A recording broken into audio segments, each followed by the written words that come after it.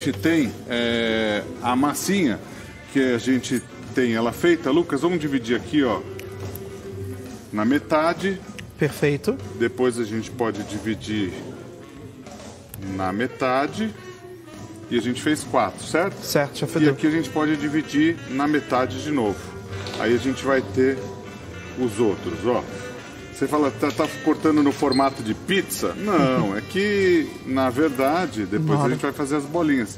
Aliás, se você quiser, enquanto eu vou fazendo a receita, é, fazendo as bolinhas aqui e deixando crescer, Ah, legal, pode toda deixar. vez que a gente faz a, ó, desse jeito, é, cortando sempre é, as metades pelas metades, e assim, pelas metades sucessivamente, um, dois, três, quatro, cinco, seis, sete, oito. Exato. A gente tem tudo mais ou menos padronizado. E é o equivalente ao que a gente tem ali na mesa, na Perfeito. bancada. Exato. Ó, a receita foi pedido, né, Lucas? Foi sim, foi o Pedro Castellém que pediu uma receita de pão doce. Pedro, olha que receita legal para você, para todo mundo que nos acompanha. Aqui eu vou colocar três colheres de sopa de açúcar. Então, três colheres de sopa é, de açúcar. Eu vou colocar um sachêzinho, um pacotinho de fermento biológico seco. Quem quiser usar o fresco pode usar também. Aí, o fresco seriam 45 gramas ou é, três quadradinhos, aqueles quadradinhos de, de 15 gramas. É, aí a gente pode usar também aqui para essa receita um ovo. Renato faz as bolinhas tão certinhas, ó. Exatamente. Agora, só de falar por que que a gente faz isso, a gente está amarrando a massa. Quando a gente forma a massa né, do pão, a gente tem que segurar a estrutura da massa, porque senão ela, ela vai crescer e assar toda desuniforme, né? Então, você segura a massa e amarra. ama- é, você está amarrando a massa tudo para baixo. Entendi. Essa parte aqui, ó, ela tá com uns vincos desse jeito. É, então é- você coloca isso para baixo e amarra o que Eu você vejo os conseguir. negócios de, de amarração assim, eu vejo no, tem muitas vezes em farol, tem no poste empregado. Traga a pessoa faça amarra- amarração, faça, Desfaça a não é, amarração. Aqui não é nada disso, Lucas. Aqui é o processo com o Padre Washington. Segura e amarra. É, é uma amarra... Entendeu? No, Segura no o tchan, português amarra o tchan. mesmo de juntar, né? De Ah, deixar sim, que claro, não se claro. solte. Aí aqui eu vou colocar é, um ovo, um ovo inteiro, então três colheres de sopa de, de açúcar na receita, o açúcar vai ajudar na fermentação. Aí é, um sachê de fermento biológico seco, um ovo. Aí eu coloco meia xícara é, de água, meia xícara de água. E muita gente, Lucas, pediu também para a gente fazer receitas é, menores, e é isso que a gente está fazendo aqui.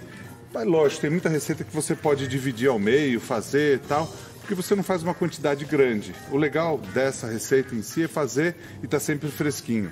Aí eu coloquei meia xícara de água, vou colocar duas colheres de sopa de óleo, pode ser qualquer óleo, óleo que você tiver em casa. É, isso é interessante, essa é uma- uma das receitas de pão doce mais acessíveis que a gente tem. Então a gente espera que todo mundo consiga fazer. Aí, uma colher de chá de sal. Então, vai menos sal do que o açúcar, mas vai os dois. E eu vou colocar uma xícara e meia de farinha de trigo. Aí, aqui a gente mistura, ó, uma xícara e meia de farinha de trigo junto, ó. Aqui a gente vai misturando. Aliás, é... a gente está aqui conversando, eu estou só passando, pondo um pouquinho de farinha na mão.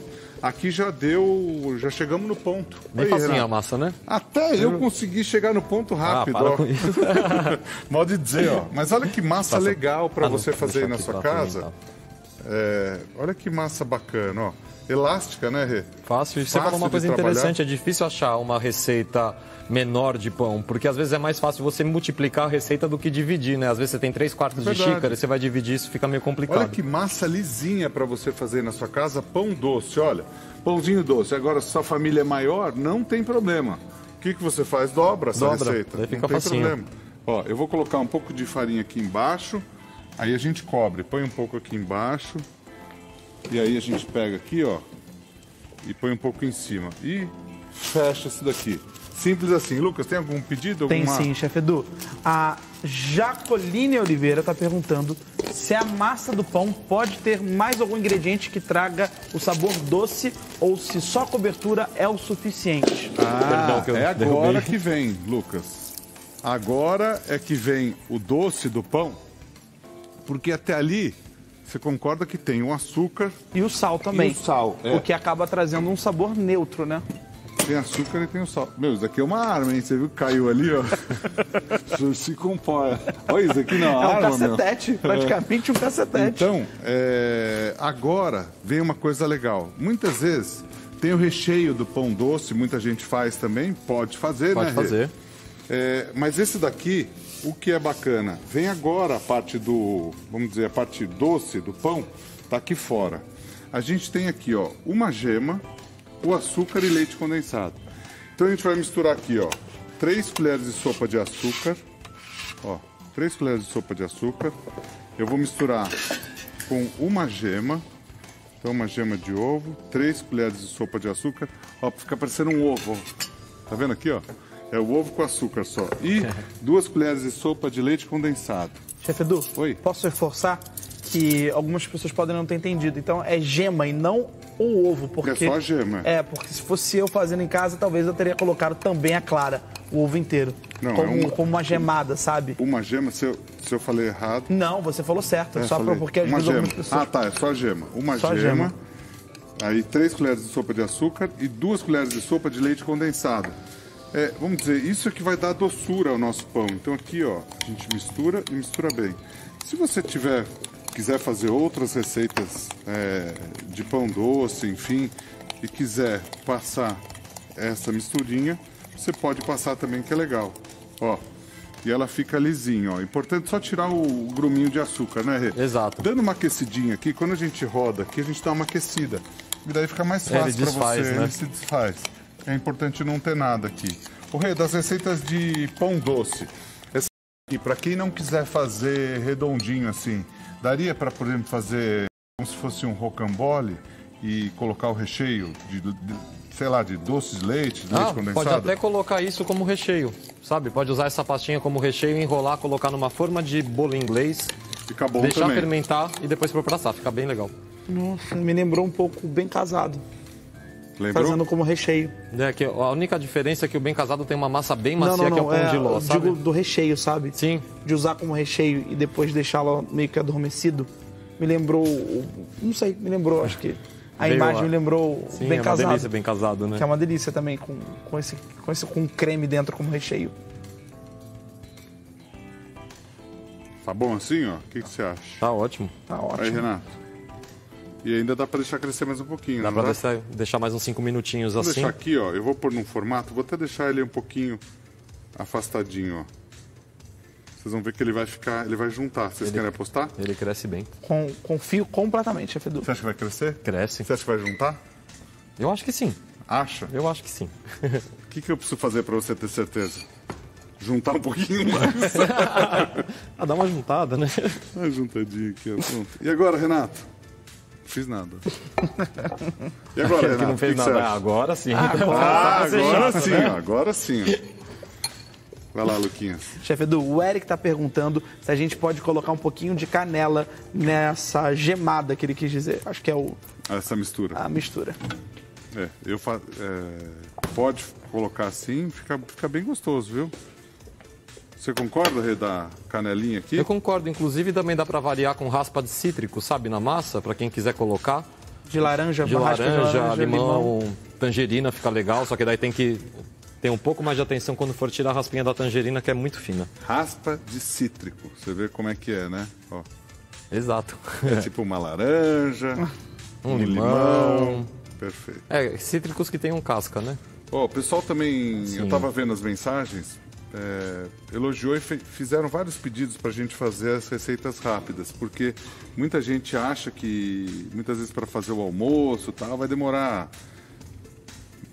uma hora, meia hora tal. Elogi- O pessoal tem elogiado que a gente tá fazendo em Que bom. 15 minutos na Tá, média, e né, tá Lucas? muito bonito. São as receitas rápidas que vocês fazem com tanta maestria que chegam, às vezes, a levar 10 minutos, outras até 8. Uma demorou apenas 5 minutos para ficar pronta. Rápido, né? É muito rápido e dá gosto de ver. Chefe Edu, vou fazer Oi. uma pergunta aqui que eu achei bem interessante. O Enio Rodrigues está perguntando o que fazer para não ficar o cheiro de ovo no pão.